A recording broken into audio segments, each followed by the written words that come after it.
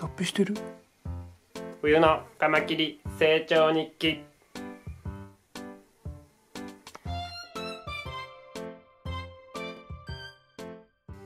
おはようございます。今日はちょっと小映え。うちにプロゼリーを入れたバージョンのやつをちょっと2週間経ったので見てみましょう、うん、結論から言うとカビ生えちゃいましたね。プロゼリーを入れるとより小映えが卵を産みやすくなるんじゃないかということを調べるために対象実験として同じ日に同じ条件で作って置いといたんだけどどっちもかべちゃいましたね。卵を産みやすくなったのかどうかカビが出ちゃうともう小映えは卵を産まないんだよね。卵の状態でカビに食われちゃうのかな。ちょっとその辺はわからないけれども生まれてこないことが多いですね。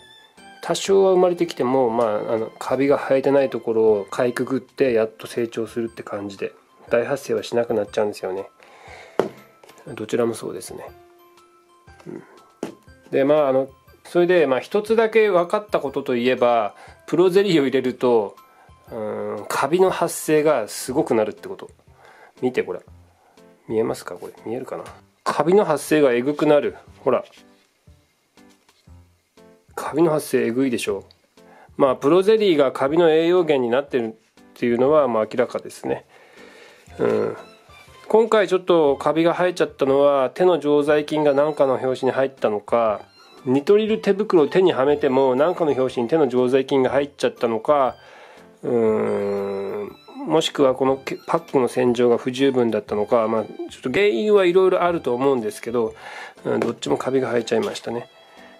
でその入ったカビの成長速度がものすごく速くなるのがプロゼリー入りの方ですね。ほらこんな感じ。プロゼリー入りがこれね。裏側見てほら。特にこの辺とか青カビになってるよね。青カビだけじゃなくてあのすごい、うん、どす黒いあのうんこ色のカビも生えてますね。ここ。一方でこっちの方もカビは生えてるんですけどうーんとねそれは少ないかな、ね、奥の方ちょっと青カビが生えてるのは見える。うん。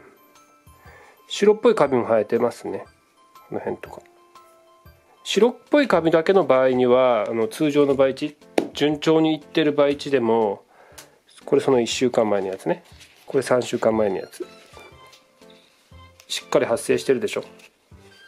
白いカビだけだったらその気にすることないんだよね。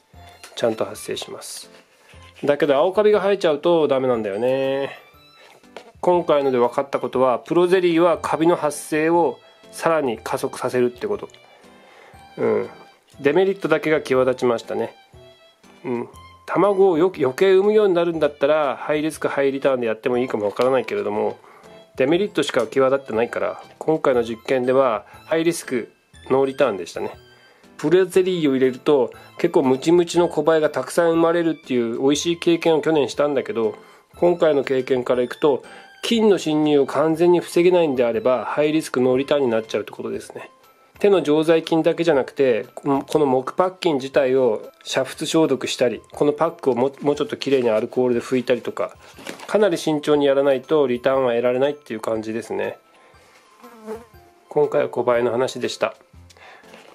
一応ね全体的には奥に246手前に2つで上に1つ。ここに9あってあとこたつのところに2パックあって11パックありますね。小林自体は、えー、保険も兼ねてどんどんどんどん順調に生産できるようになってきました。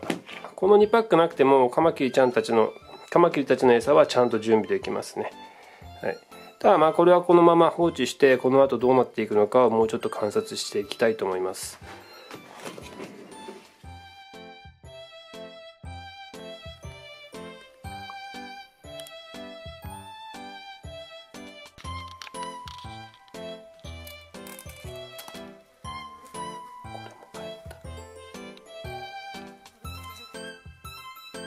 まいちゃんここに産んだろう。